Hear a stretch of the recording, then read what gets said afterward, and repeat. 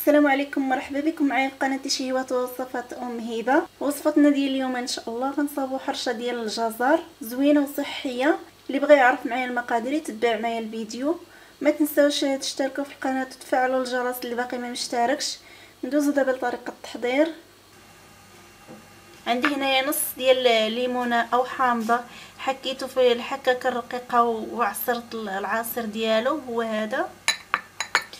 عندي هنايا كاس ديال الزيت دانون ديال الحامض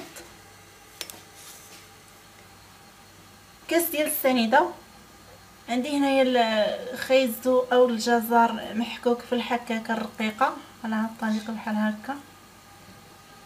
عندي هنايا رابعة ديال السميدة رقيقه قبصه ديال الملح خمارة وصاشي ديال الفاني جوج ديال البيضات. وعندي هنايا اللوز اللي تزين في إناء غنديروا البيض.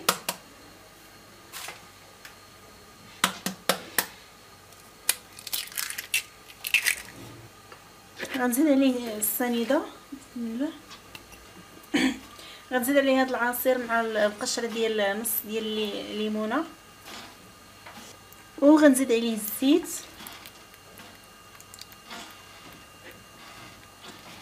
غنزيد عليه دانون بسم الله.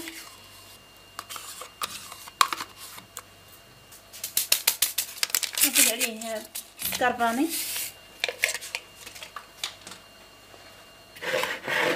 نخلط مزيان.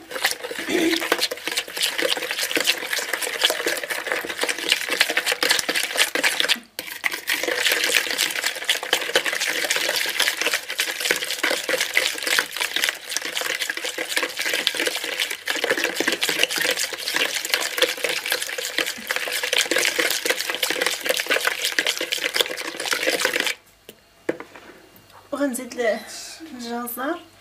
هاد الجزر تقدروا ديروا تخلطوا كلشي في الخلاط الكهربائي كيجي زوين.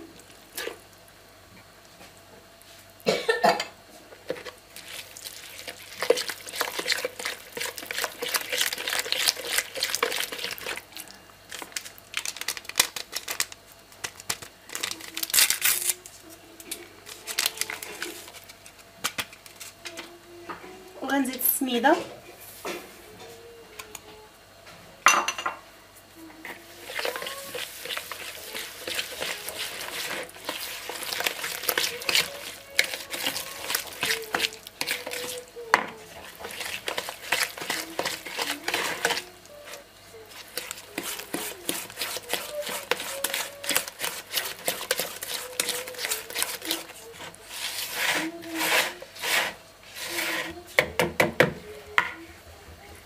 صافي دابا خلطت الخليط ديالي.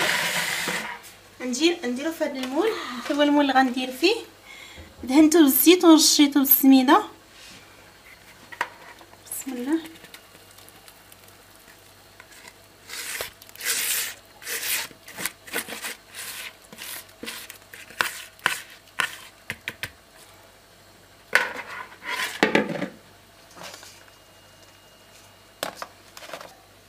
دابا غنزينها باللوز غنديرو لها من الفوق نرشوا عليها بحال هكا.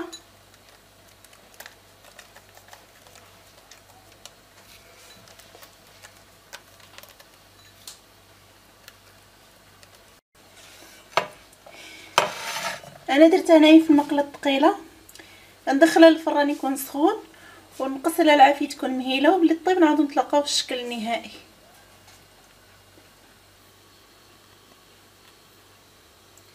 هذه هي الحرشة ديالنا بعد ما طابت. دهنتها بشويه ديال المربى ديال المشماش بعد ما خرجتها من الفران باش يعطيها اللمعان وكتجي زوينة وكتجي لذيذة وصحية. نتمنى تعجبكم الوصفة ديال اليوم. إلا عجبتكم الوصفة ديال اليوم ديروا لي لايك واشتركوا في القناة اللي باقي ما مشتركش. وفعلوا الجرس باش يوصلكم دائما الجديد. والسلام عليكم ورحمة الله وبركاته.